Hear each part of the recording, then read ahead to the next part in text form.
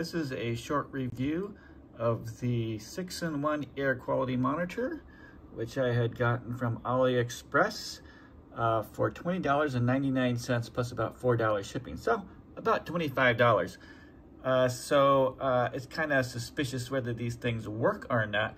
I specifically got this to be able to measure the uh, particulates in the air. So this one does both to smaller, the 2.5, and the larger ones. Uh, so um, I tested it by sticking it down the carpet here and then just start beating away at it. And we can see that, there we go. So the uh, indicator went to serious and we can see that the uh, indicator went up. So I'm pretty sure it is measuring something there. Now for the, this is formaldehyde and volatiles.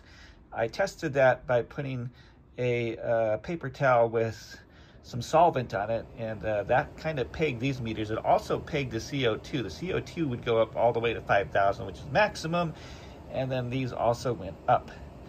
Um, the only thing I haven't been able to trigger is like the CO. Like I put it uh, next to uh, automobile exhaust, and it remains stubbornly at 1 ppm. So not sure if that works, but the CO2 is very sensitive. Even if you just breathe on this thing uh, closely, uh, th that'll be enough to raise it.